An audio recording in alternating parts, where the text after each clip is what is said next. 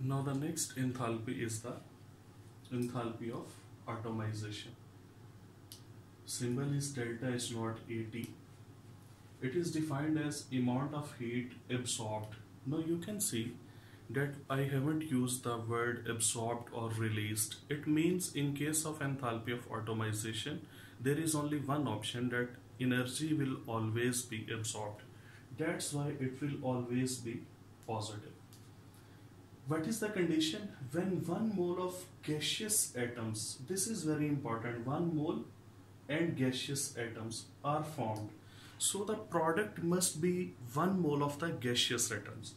And what's about the reactant? From the element. So an element must be changed to one mole of its gaseous atoms. In that case, the amount of energy absorbed will be called as the enthalpy of atomization under standard conditions. For example, enthalpy of atomization of hydrogen is 218 kilojoule per mole, chlorine is 121 kilojoule per mole. Now the third equation that is very interesting that in case of sodium when it is directly changed from solid to gaseous but one mole of gaseous atoms must be in the product and they must be formed from the element so in this case the enthalpy of atomization is 108 kilojoule per mole. Why it is interesting? Because some people say that it is not enthalpy of atomization it is enthalpy of sublimation. But in this case both are same. It may be called as the enthalpy of sublimation or you may also call it the enthalpy of atomization. Now very important point, the enthalpy of atomization is actually half of the bond dissociation energy, in which case for homonuclear diatomic molecules. Consult from your books that the bond dissociation energy of H2 that is 436 and its enthalpy of atomization is half of its bond dissociation energy. Similarly, in case of chlorine, the bond dissociation energy is 242 kilojoule per mole and 121 kilojoule per mole is the half. Why? Because only we have taken the half mole of the hydrogen and chlorine and the bonds in the half moles are broken. So that's why that is enthalpy of atomization which is half. But if we would have taken one mole of each of hydrogen and chlorine and we must have broken it into the gaseous atoms then that would be called as the bond dissociation energy which is which will be double of the enthalpy of atomization.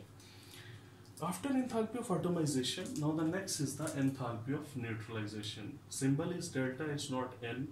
It is always negative. It means, it simply means that neutralization is always an exothermic process.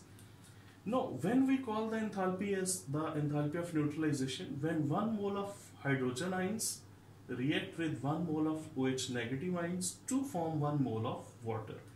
These 1 mole of H positive ions they are donated by an acid 1 mole of OH negative ion they are donated by a base which is mostly or usually an alkali, a strong base and 1 mole of water is formed.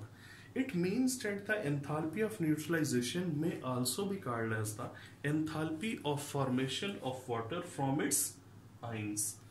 Now the maximum value of the enthalpy of neutralization is 57.4 kilojoule per mole or 13.7 kilocalories per mole. Obviously that will be negative.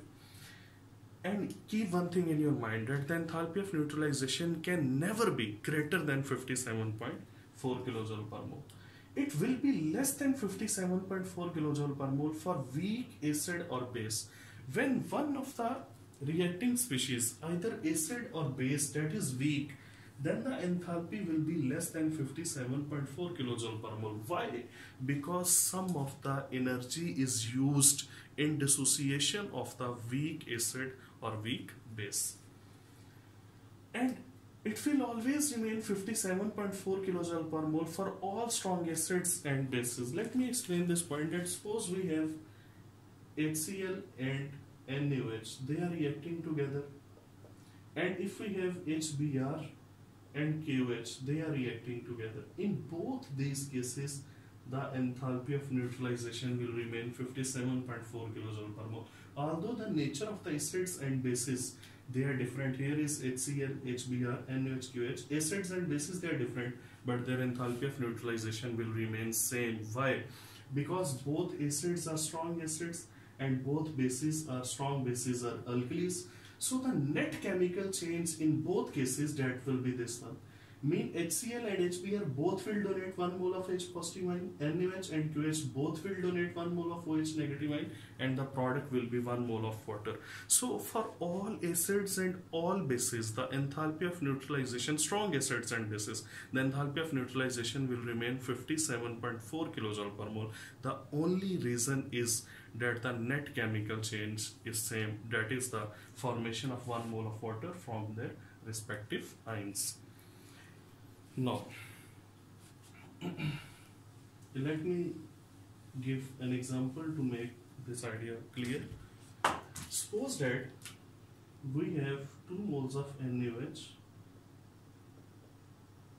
reacting with 1 mole of H2SO4 aqueous form and they form 1 mole of Na2SO4 which will be written as 2Na SO4 minus 2 plus 2 moles of water. In this particular case, my question is what will be the heat of reaction?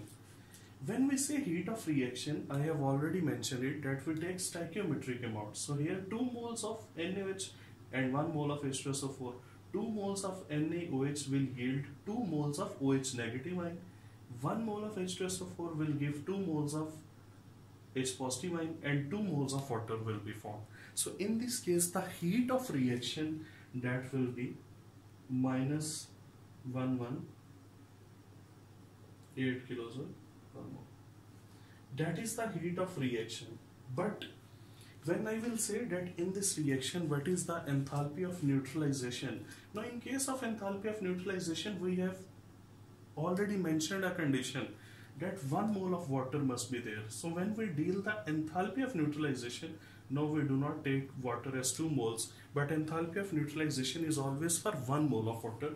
So that will remain minus 57.4 kilojoule per mole so that is a difference that if an equation is given and here the 2 moles of even 3 moles of water are formed, if we will take as the enthalpy of neutralization, then it will always be minus 57.4 kilojoule per mole. Why? Because during enthalpy of neutralization, we take only 1 mole of water in our consideration. But if the enthalpy of, sorry, if the heat of neutralization or heat of reaction is required, then we will take the respective moles of water that will be formed in a particular reaction. If one mole is formed, that will remain 57.4. Two moles are formed, it will become double. Three moles are formed, it will become three times of the 57.4 kilojoule per mole.